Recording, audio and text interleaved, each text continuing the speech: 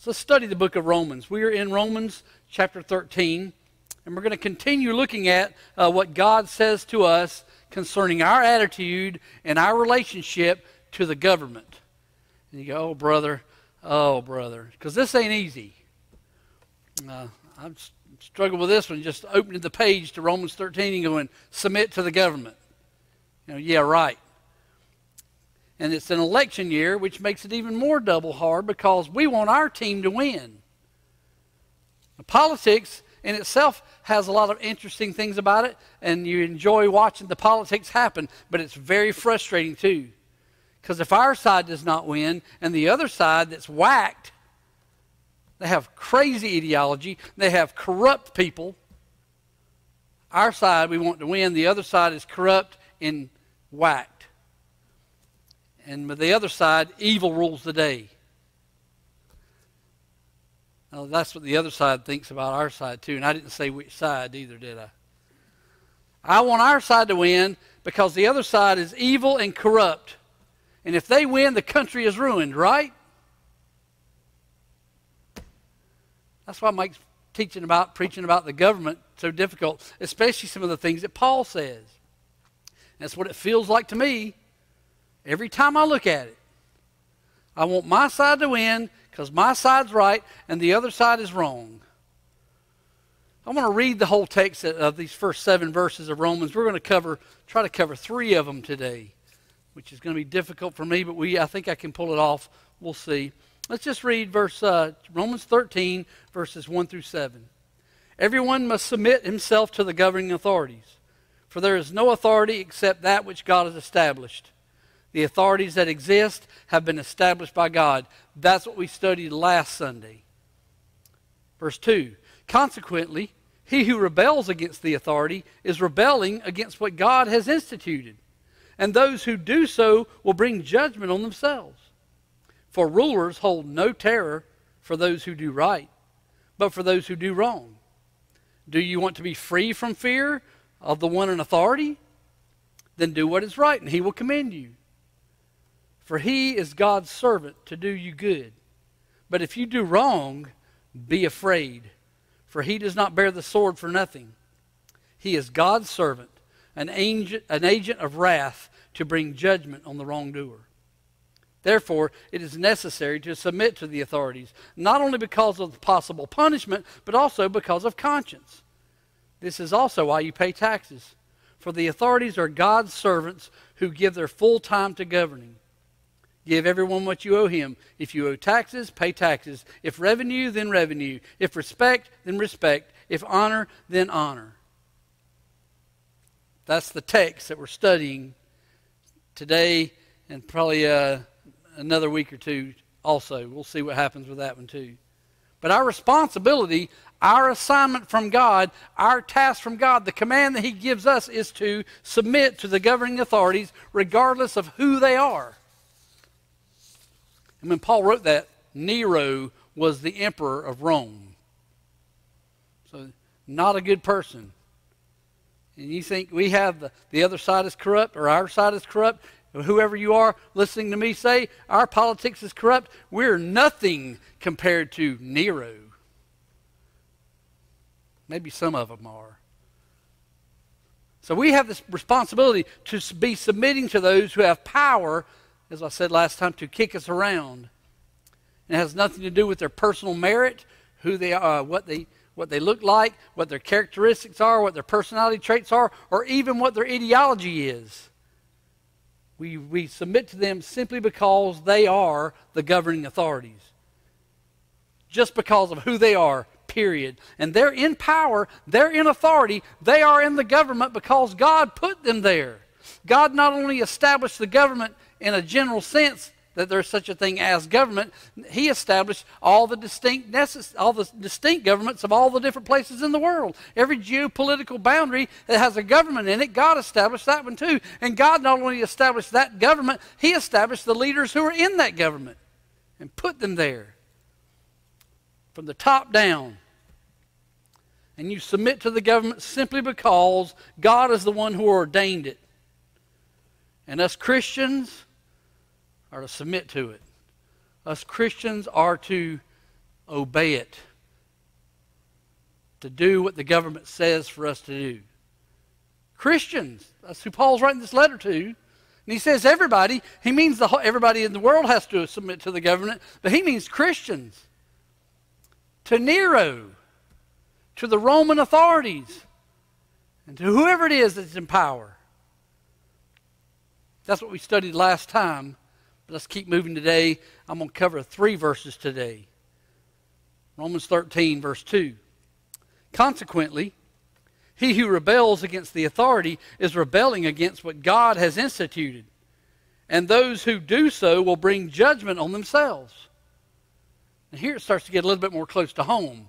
You can say, I submit to the government because God ordained it so, and just because He's sovereign and I love Him, I'll do what He says. But here we have a real, genuine negative reason why you're to submit to the government. It'll cost you more than you want to pay if you don't. It's different than I'll submit to him just because God said it. Now I've got to submit to him because it's not going to be pleasant for me if I don't. You will bring judgment on yourself, Paul says. He's, let me back up for a second. He says, consequently. It's the Greek word just means therefore. The conclusion and the logical result of what he just said in verse 1. That what he just said about God's sovereignty and government. Because of God's sovereignty and government, therefore, he who rebels against that authority. I like this too. It's uh, two words. There's two words translated rebel in the English Bible. Most of them have that word, or resist, or something like that. But the first word uh, that's used here means to arrange against, to array against. The, the picture is like you have an army on a battlefield and you've, arrayed all, you've aligned all your troops and set them up ready to go to battle against another army on the other side of the hill or the other side of the valley. And you're arrayed in, in rebellion. You're arrayed in opposition. You are arranged your army to fill, uh, fill out against the enemy forces. You're ready for battle. You are opposing someone, both the psychological attitude and in the behavior that you do. You don't like them, and you're going to fight them. That's what rebel means. That's what that word means. You are opposed to you are hostile toward. You show hostility. You set one's, it means to set oneself against, to oppose, resist, withstand.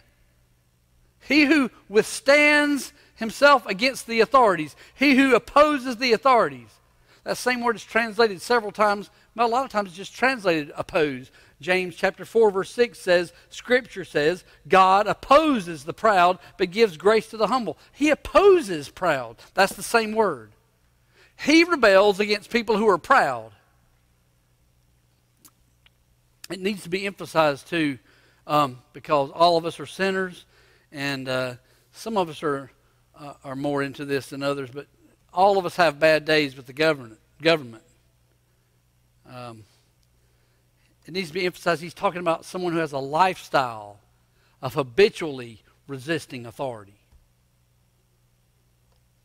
resisting the government, opposing the government, opposing those who have a right to kick you around. They have the right to kick you around because God gave them that right to kick you around. And there are people who have an attitude and a, um, behavior to resist that all the time. That's what Paul's talking about here. And if that's you, then you have opposed what God has ordained. You have opposed what God has instituted, decreed, ordered. We looked at this last time. This was the whole sermon last time, or the last part of the sermon last time. God ordained it. God instituted the government. God made them happen. He arranged in place. He ordained. He designated, appointed the government. God did it. He set the government in place. He set the rulers in place. And if you rebel, then you're rebelling against what He set up in place. You are opposing what God has set up. You're rebelling against God's order. That's why you can't do it. You're rebelling against what God has established. he says, um, He who rebels, that's the first word, against the authority, is rebelling against what God has instituted. he used a different word. Translated rebelling both times, or rebel in the English. Uh, and the words are basically synonymous. They mean the virtually the exact same thing. This word is, uh, I want to say the Greek word, it's anti antihistemi. We get an English word antihistamine from it. Synonym to the first word, it means to set oneself against, to resist, to oppose, whether in deed or word. It means to arrange in battle against someone. You set yourself up against someone in battle. That's the same, different word, means the same thing. He who rebels and sets himself up against uh, the governing authority sets himself up against what God has ordained. That's, what's, that's what he's saying here. The government. You have rebelled against the institution that God has made. Now, here's the irony for us as Americans. If you weren't Americans, I could be preaching to you a whole different kind of a thing. But because you're Americans and you're used to living in a country that has a constitution that establishes and guarantees you a lot of freedoms, crazy freedoms. People, other places in the world have no idea when you talk about freedom. When you just read the Bill of Rights, you mean we can gather and we can believe whatever we want to believe, and the government can't do anything about it? That's the first one. Here's the irony, though. The founders of the United States rebelled against the England, against England, against King George. They broke Romans 13, verse 1. They violated that. And then they wrote an amendment in the Constitution, the Second Amendment, which basically gives the citizens the necessary means to resist the very government that they created. That's what the Second Amendment's about. If the government gets crazy and starts to violate this Constitution, you guys pick up your weapons and fight them. Just like we did King George. That's the irony. It's crazy. You, won't, you don't set up a power, you don't set up a government, and then give the, the citizens the right to rebel against the government. government. But they did. I really don't know how to ad- address it, but you are rebelling against the government if you're rebelling against the government, whether it's got a constitution or not, you're opposing God. Even if the framers of the Constitution established a, a clause in there or an idea in there that gives you the right to rebel and protest and make a stink at the White House, in front of the Congress, at the Supreme Court. You can go up there and, and protest and rebel. Isn't that crazy? But if you do that, you're rebelling against what God has established. It's part of our fundamental laws, isn't it? Protest. The United States has established a constitution that gives you a right to protest, but if you protest, you're violating what God says. I don't know how to deal with that. I really don't know how to deal with that. But it hasn't been that way for most of human history. This is, this is relatively a new thing to go out and protest in front of a cop and not get arrested. But you can't do it. Because if you, if you set yourself up against them, against the government, you will receive judgment, Paul says. Judgment will happen to you. Now, Paul doesn't mean judgment like the day of judgment when God judges. He means judgment in the form of a temporal punishment by the government. You'll receive your judgment from the civil authorities. The civil authorities are the means of enforcing that people live peaceably together without uncontrolled crime and evil.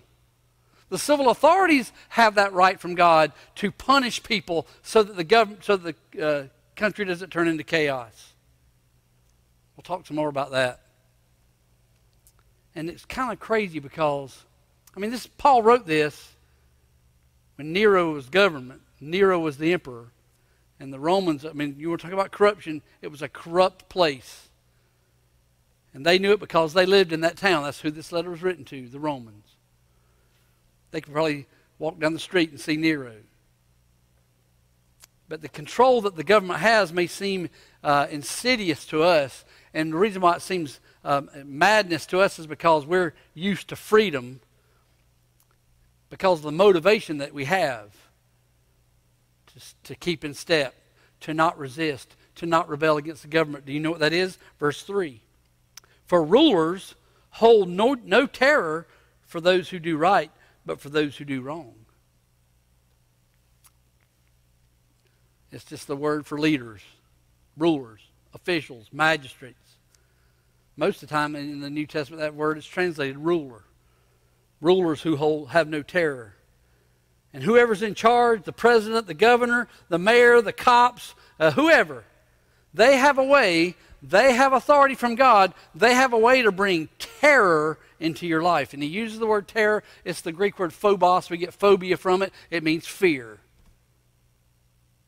The government, the motivation for their ruling you, the motivation they place upon your soul, the motivation they put into your conscience, the motivation that they bring to your soul is fear, terror. But it's only for those who cause trouble. It's only for those who do wrong who disobey and break the law. That's who the terror is for. For people who do not stretch the limit and push the buttons and make the system rock and cause problems, there's no fear. For those who break the law, there's fear. For those who don't break the law, there's no reason to be afraid. The motivation to be afraid of the government is either minimized or averted altogether if you don't break the law. If you live uh, in submission to the government. There's no reason to be afraid. Now, having said that, I know uh, sometimes people are just in the wrong place at the wrong time. I used to drive on from Raleigh to Wake, Wake Forest to Raleigh to go to work when I was in seminary, and there'd be a car, 50 cars, and everybody's flying. And the highway patrolman would just pull the last car in line. Nobody else got a ticket, only the last one. So don't be the last car in line. Somebody's going to get a ticket. Whoever doesn't get in the middle is going to get it. but that's not what Paul's talking about here. He's not talking about being at the wrong place in the wrong time. He's talking about people who are always living in disobedience along with the same attitude, just a disobedient attitude. They can't stand the government. If they see a cop, they want to go say something to him. Smarty breeches. People like that. And that should be no Christian ever, no Christian ever should be that way. Having an attitude of resistance and rebellion to the government. Ever. No Christian should have that attitude. Verse 3 Do you want to feel, do you want to be free from fear of the one who in authority? Do you want to be free? Do you want to not have a, a, a fearful day? Do what is right, and he will commend you. I already gave it away, but you know the best illustration for that? This is for me. I know it's for all of you too. Uh, I know some of you told me these stories before. It's pretty much the story of our lives. You're driving down the road on 544 up here, and you see a highway patrolman sitting there right there at that bridge, 31 bridge. And immediately your heart stops, and you look down at your, your and you, you pump the brake, slow down just a little bit, and you hadn't even looked at the speedometer yet. You don't even know how fast you're really going. You just saw the cop there, and you, your heart started pumping fast, and you were scared, thinking, oh no, I'm going to get, get a ticket. And then you look at your speed. Find out you weren't even speeding. Just because you know you've been speeding before. And you probably, some of you have even got tickets before for speeding before. And as soon as you see a, a highway patrol car or a police car parked on the side, you slam on the brakes. Even if he's parked at the donut shop. What happens when you have a habit of speeding? If that's the way you are and you weren't even speeding, speeding, what happens to people who have a habit of speeding, who are always flying down the road? What do they do when they see a cop? Every time they're afraid. You slam on the brakes and you panic in fear, hoping that you don't see the blue light come on. And that's just a silly illustration. There were no highway patrolmen in Rome.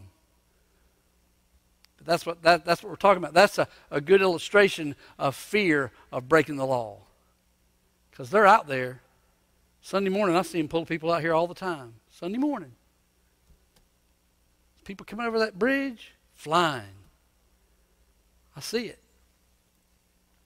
Now, if your intentions and your thoughts or uh, and your desire is to always be conscientious, uh, have a sincere conscious conscience, and uh, desire to do favor for the government including law enforcement officials, you will probably never have anything ever to worry about. If your attitude is, I like the government, I want to make the government work pleasing to the policeman, I want to be pleasing to the Peter says all the same stuff. Uh, 1 Peter chapter 2, verse 13 and 14. I read this last week, but it's uh, appropriate this time too. Uh, Submit yourself the, for the Lord's sake to every authority instituted among men, whether to the king as the supreme authority or to the governors. This is what he says who are sent by him to punish those who do wrong and commend those who do right. If you do right, you what? You get what? Commended. If you do wrong, you get what? A speeding ticket among other things. The next three verses, verse 15 through 17. For it is God's will that by doing good you should silence the ignorant talk of foolish men. Live as free men. You're free. It's especially appropriate for us. We're in a free country and we have Christ. Live as free men, but do not use your freedom as a cover up for evil. Live as servants of God show proper respect to everyone, love the brotherhood of believers, fear God. Look at this honor the king. Now, who was the king when Peter wrote that? Nero. Honor the king. Do you think Nero's going to come after you with his Gestapo squad if you're honoring him, if you're showing him honor? And your heart is to show honor to the king?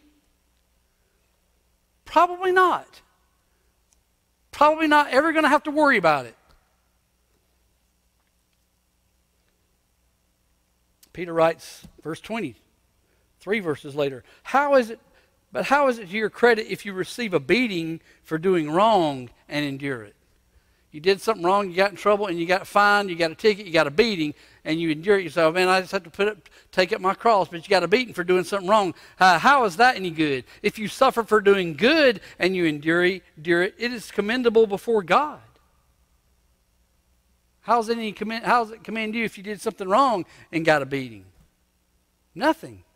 Doesn't do anything good for you or God. It says in 1 Peter 3 13 through 14 Who is going to harm you if you are eager to do good? Now, there are people who don't like you because you're Christian, so they are going to harm you. They're going to persecute you just because you belong to Christ. But who's really going to harm you if you're eager to do what's good? But even if you should suffer for what is right, you are blessed. Do not fear what they fear. Do not be frightened. Now, I'm saying all that because I want to I want to revisit something I talked about last time. This is where I want to deal with it again. No government, this is, this is my view, this is the view, historical view of Baptists this is the historical view that I have, or a view that I hold, the government has no right to command a person's conscience. They can't tell you you have to go uh, be a spy against people who you like. They, they really can't. They can try, they can make a law, but they can't really bind your conscience. And they don't really have a right to make a law against your conscience. So there are times when a believer must by obeying God, incur the wrath of man. If you're trusting God and you're following Christ and you're uh, uh, living in compliance and obedience to His Word revealed to us in the Scripture, sometimes they're going to come get you. Because what you're trying to do is opposite of what they're telling you to do. Or what you're trying not to do is opposite of what they're telling you to do. And just be, be prepared to pay the penalty when that day comes. Without any undue complaint either. It's like, I'm not complaining. I'm not going to do what you told me to do if it violates God's word. I'm going to do what God says even if you tell me not to. And if you punish me, I'm not going to complain. Say the examples we looked at last week, you had the Egyptian midwives. They were not killing the baby Hebrew boys, right? Kill the boys. Uh, these women had compassion on these little babies, and they didn't kill the baby boys. They lied about it too, and they didn't get any trouble. They didn't get any retribution against them by the king or anyone. In fact, they lied to the king and he believed their story, and God blessed them. Egyptian midwives gave them families of their own. But you know, they could have been in big trouble. Wonder what the penalty would have been for them if they had gotten found out. What would the fine be? If the king of Egypt found out you lied to him and didn't kill the Hebrew boys like he told you, what would have happened to the Egyptian midwives? They probably uh, would have been executed. I don't know. Shadrach, Meshach, and Abednego, they said to, he, he made a big statue. He said, Everybody bow down to the statue when you hear the trumpet. They said, We're not going to do it. And guess what happened to them? They were thrown into the fire, heated up seven times hotter than normal because the king was furious with them. Furious that they didn't obey him. Furious that they didn't believe what he said that were going to happen. They just said, We don't care what you say. God spared them through a miraculous appearance in the fire. But they were willing to suffer for doing right. They were willing to suffer according to their own conscience and their convictions concerning what God said to them in His Word. You shall bow down to no other idol. And they didn't. Daniel, that was, in Hebrew, Daniel 3, Daniel chapter 6, where Daniel didn't pray to the king who said he had to make it, he made a law saying everyone has to pray to the king now for the next 30 days. Well, Daniel went up in his room and opened the window and prayed to, uh, toward Jerusalem every day, like he always did. They found out about it, and guess what happened to Daniel? He was thrown into a lion's den to be killed and eaten. That's what was going to happen to Daniel. Now, the king liked Daniel, so he was all bummed out when he found out that he got tricked. But he couldn't change the law. Daniel wouldn't obey the law. Daniel's going to pray to God, not the king. And if he get eat, gets eaten by a lion, so be it. But God um, spared him too, made the lions not hungry all of a sudden. And you had the Peter and John and the apostles who defied the Jewish leaders of the Sanhedrin. They kept talking about Jesus even after they were told not to talk about Jesus. You guys don't teach in this name anymore. And they threatened them. Now, my, my uh, didn't say what the threats were, but you can go ahead and tell it. With the, if, you, if we hear any more word about this Jesus fella and you blaming us for his death, we're going to flog you. Who cares? They said, We can't help speaking what we have heard and seen.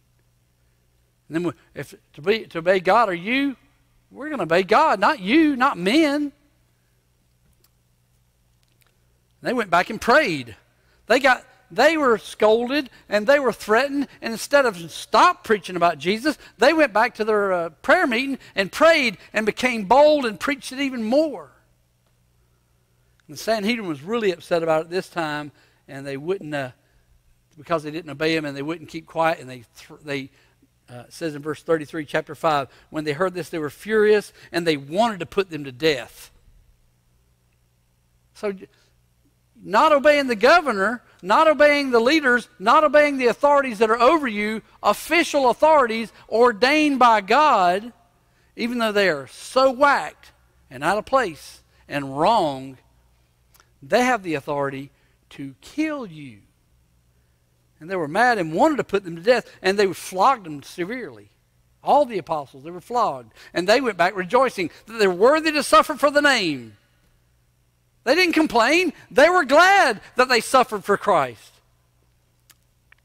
Every time a Christian suffered for the sake of the gospel because they had to obey God rather than men, they endured it. And they only broke the law the only time they broke the law was when it was conflicting with what God commanded them. If the law didn't conflict with God's command, you comply with the law. You do what the law says. And even Paul, when we were, when we were preaching Acts, um, he was flogged in Philippi. Now, he didn't even break a law. There was no law that said you can't preach uh, the gospel. They didn't even know what the gospel was in Philippi. And there was no law that said you can't cast out a demon. They don't even know what that was. So there's no law that he broke. But he was unjustly beaten. And he used his rights as a Roman citizen to get some justice, not because he broke laws.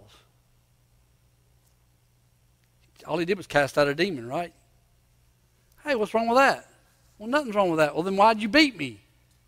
And I'm a Roman citizen. So we're not talking about obeying the government against your own conscience or God's word. We're not talking about that. We're talking about the government that gives you laws that, for the most part, you know it. You know it. They are good laws. And pretty much every kind of government there are in, there is in the world, every kind has a lot of good laws. Even countries where they don't have a constitution like ours. Do what is right, and he will commend you. Do what is right, and he will commend you. You do good, you have good behavior, and you will have his praise. That's what the word command means. He will praise you. He will be like, man, these people who obey my laws are great citizens. I like them. And he's going to tell everybody. The word means to speak of the excellence of a person, to recognize and approve of you. If you're eager to do what's good, if you're doing good and you're doing what's right, you're going to get praise from the government. You're going to get commended from the government. You're going to get recognition and approval from the government. They will speak of how excellent you are as a citizen. That same word is used in Romans 2:29. Uh, if a man is a Jew, he is one out inwardly, and circumcision is circumcision of the heart by the Spirit, not by the written code. Such a man's praise is not from men, but from God. Praise. Now, immediately you start to think, well, I'm not in it to get the man's praise from the government. I didn't, I didn't come into this world and become a Christian so the government could pat me on the back and say, What a good citizen you are. I'm not here to receive the praise of men. I could care less about his praise or his condemnation. But my, my struggle with that attitude is this if me trying to get praise from the government is not a good thing, if it's not good to do that, if you shouldn't be trying that, then why did Paul write that in there? Why is that in the text? Why is it in the text? Do what's right and he will commend you. Well, I want him to commend us. I want him to commend me. I want the president and the governors and the mayors. I want them to like me. I want them to leave me alone. I want to not be afraid of them. And not only do I not want to be afraid of them and not be afraid of them and for them to leave me alone, I want them to tell everybody how good of a citizen I am. Our goal as Christians concerning the government, government is to be the best citizens in the whole world. The best citizens they have should be you. You're the best citizen the United States has ever had. You ever thought about that? That should be your attitude. Even if they don't like the gospel, they will have to be impressed with how well we comply with the laws of the land. We want to be known as model citizens. Really. That's what I think Paul means here. That's what he means. Proverbs 14, verse 35, it says, a king delights in a wise servant, but a shameful servant incurs his wrath. Now, that's technically talking about servants who serve the king. A lazy bum is going to make you mad. Does the job right every time is going to make him glad and delights him. It's going to make him mad. Proverbs 20, verse 2 A king's wrath is like the roar of a lion. He who angers him forfeits his life. Don't make the king mad. Be the kind of citizen that does not make him mad, make him delight in you so that he commends you. And even when our government, bless their heart, bless their heart. That means poor, you know, morons. Um, even when our government is not the sharpest knife in the drawer, and so many times they are not the sharpest knife in the drawer. that's especially uh, the case around here these days. Watch the news or watch a, a good news feed on Facebook. Like it was in Philippi. You know, Philippi, all these people, they lost their money for this girl getting exercise from a demon that Paul did. Next thing you know, they've got Paul arrested and been beat to death. He didn't do anything wrong. Now the government let that happen. Why did the governor why did the government let that happen in Philippi? Shouldn't have let that happen. They should have at least found out first whether Paul was a citizen or not. Then we could have investigated whether he did something wrong or not before we beat him. So even if they violate your constitutional rights, even if they do something wrong and don't do it the right way, which they do a lot, really they do. This whole COVID 19 episode is just a, a dictionary, a list of those kinds of things. Even when they do it wrong, verse 4 says, He is a servant, He is God's servant to do you good. The government is God's servant. Those in authority, from the highest levels to the lowest levels, Paul calls them God's servants. In fact, he calls them God's servants three times in this text, these first seven verses. He calls the government God's servant three times. Four times. Look that up. I don't remember if it's three or four. But it's not the same thing as a servant, like a servant of God who's a minister or a gospel preacher or a prophet or anything like that. This is, this is the Greek word diakonos. We get deacon from it. it. Just means a servant. He is God's servant in the sense that he administers the government which God instituted. He is the administrator of the governing authority that God ordained. He is the administrator of this uh, realm of governmental control and authority. That's what he, he serves. And we honestly, uh, we need to think about it like this. We do. The president, everybody who does not like the president, listen to me. And everybody who didn't like the last president, listen to me. And everyone who's not going to like the next president, listen to me. The president, the governor, the mayor, the police, and all who work for God, they all work for God. They serve Him. Whether they know it or not, they serve God. And when you conscientiously follow the laws and do good in society, you bless that servant. When you conscientiously make yourself the kind of citizen that likes to live in compliance with the government's rules and laws, you bless him and you make his service to God an easier thing to do. And when you do that, Peter called that honor the king. You honor the king when you do what his, what his laws say. That's what I'm talking about. That's what Paul is talking about. He's talking about complying with the rules and with the orders of the king. Honor him. That's the way you should think. That's the way you should think as a Christian citizen of whatever country you're part of, where you live. Here in America, we have it made.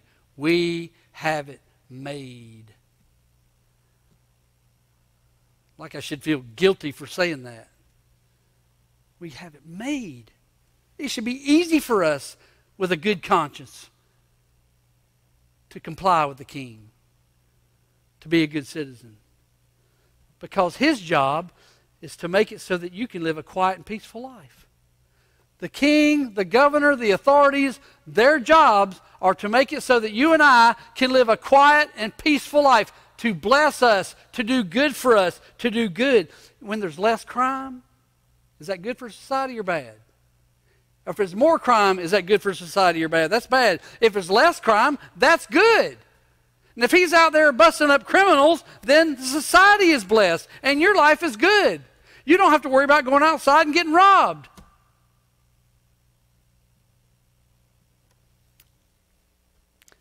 It's good for everybody. Society is functional because the government is there.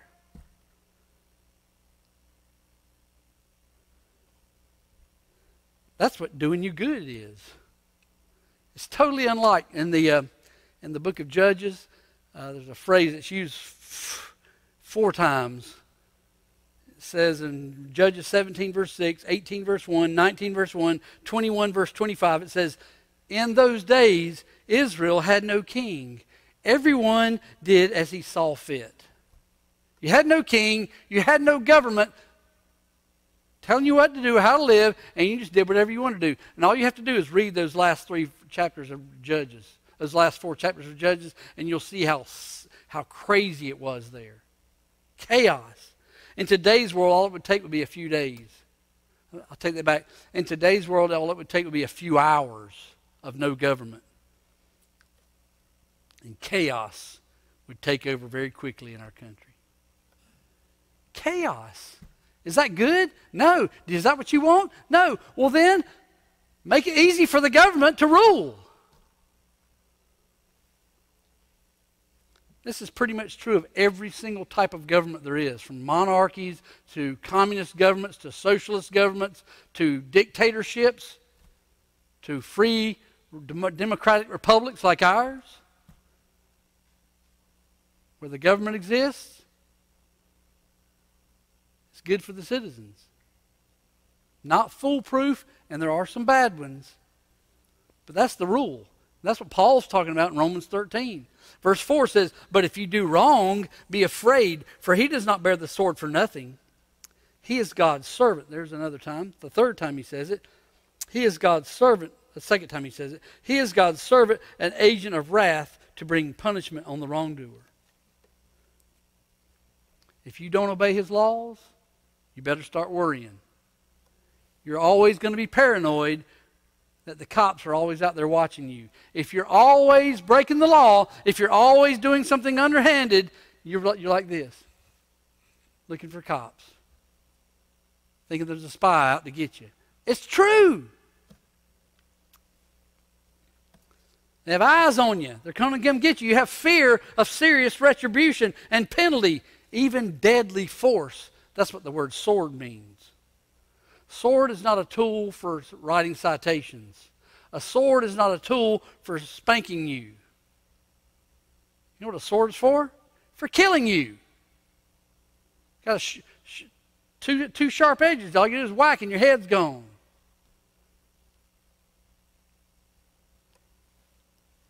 And I would say that's the epitome of what I would consider wrath. If, if it comes down to the time where the where the law officer or the government official takes the sword and whacks your head off, uh, you're, a, you are a, um, a recipient of wrath. And it's not his wrath either, it's God's wrath. He is a servant, God's servant, an agent of wrath to bring punishment on the wrongdoer. He's an agent of God's wrath. His job is to enforce not his own wrath, but God's wrath. His job is to enforce uh, the rules and bring temporal judgment on those who disobey the rules. Capital crime deserves capital punishment. And I'm going to tell you the truth right now. Uh, it's not just a political ideology. This is what the scriptures teach. Whenever you do not punish someone with a capital punishment, even though they've committed a capital crime, chaos starts to rule the land. And you have a whole country now where it takes forever to put someone to death who murdered 10 people. It's crazy. They have they can execute you, they can put you in jail, they can fine you if you break the law. And the point is this, coercive force is the motivation to not go crazy in society and start killing people. Coercive force to bring fear to your soul and you make your bones tremble whenever you do something wrong, that's his motivation. That's his that's what he does. He shows force to motivate you to not go crazy and cause panic and havoc and chaos in society. That was R.C. Sproul's definition. I read this to you last week. The government is a structure that is endowed legally with the right to use force to compel its citizens to do certain things and not do other things. Force to compel. Wally Cleaver, I got to read this one again too. Wally Cleaver said, The city's got to maintain law and order. You can't do that without kicking people around. You got swords to, to whack people's heads off with if they don't comply with law and order. Law and order has to take place. By the way, too, I think this verse, Romans chapter 13, verse 4, is the verse that gives the primary reason that God instituted government among men in the first place. This is the number one reason that government exists. It is the main purpose for government, and that is to protect law abiding citizens and punish lawbreakers. That's the main reason government exists. That's not the only one, but that is the norm. And even though there are exceptions and many things have slipped through the cracks, uh, people who did crimes got away with it, and people who didn't, uh, didn't do crimes got punished. There are exceptions and things went wrong. Every society, every culture gets it wrong. But today it's horrible out there. But that really is the main purpose of government. Now you have defense, you have um, uh, whatever, what else I write down here? Public commerce. You got to set up things so that people can make money, so the economy will grow. If you're the government, you got to do things to set up certain standards of morality and infrastructure. You got to set up uh, rules in place that bring safety to the people that you are governor over. There are things that you have to do as a governor to bring welfare to the people. Now, each one of those would require a book. That's all I'm going to say about them today. The main one is protect law abiding citizens, punish lawbreakers. That's what the government does. And you do that, you enforce that with a sword. If you do not comply with law and order, the government's going to kick you around. And it's going to kick you around in ways that you don't like it. It ain't going to feel good, and you're not going to be happy with your life because the sword is going to come and cut your head off.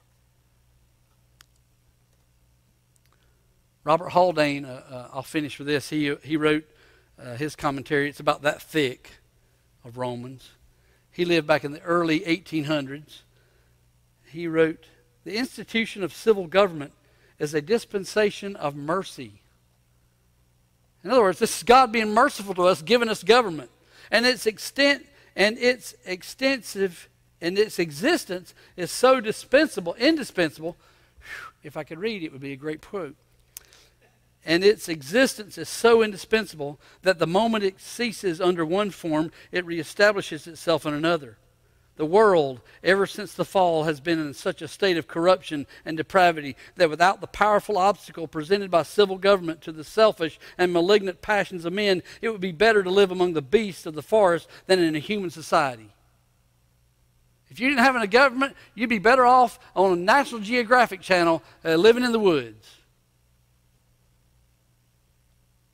than with a society of people. Because they will break into your house and steal stuff and kill you to get your stuff. And there's nothing anybody can do about it. Unless you're stronger than they are and you can stop them.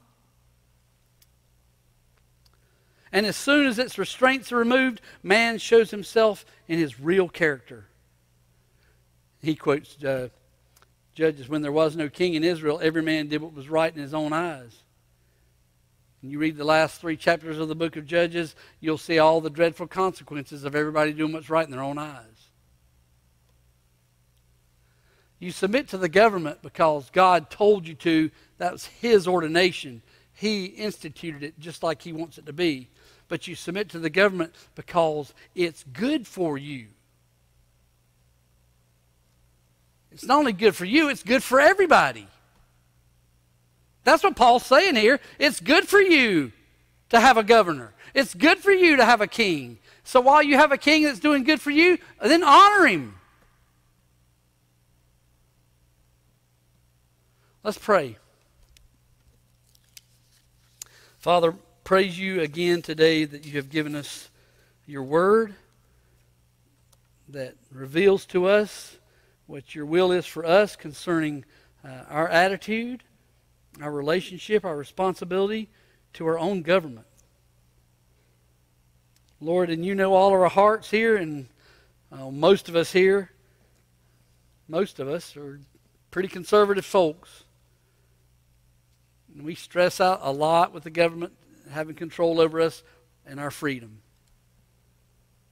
But Lord God, I pray that you would make us a people who honor the King, who pray for the King, who obey the laws, conscientiously obey the laws, delighting, delighting to obey the laws, so that we would be the best citizens this country has ever seen. And when they do come to punish us, it won't be because we broke law, it'll just be because they don't like you.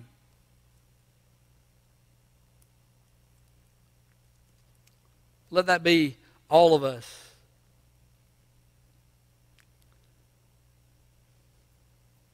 Father, I pray that you will just be glorified in what uh, you have given us today concerning this issue in this election year. Father, I pray uh, that you will bless us at home, keep us safe, keep us wise as we start to feel the, the pressure of not, or start to feel the pressures that we've had under quarantine go away that we would uh, not get so crazy out there that we would do something uh, that would be harmful to other people or ourselves. Even though we are going to have a good time, keep us safe and keep us wise. Protect our country. Give us a good day. Just bless us with everything good because you are a good God. And You love your people. We love you, Lord, and we pray that you'll be uh, honored in our lives. I pray it in Jesus' name. Amen.